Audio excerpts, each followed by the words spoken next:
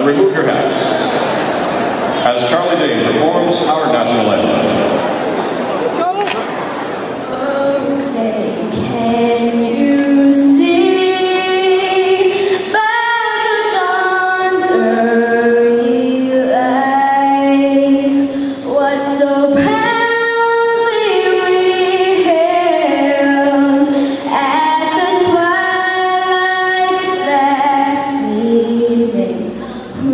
broad stripes.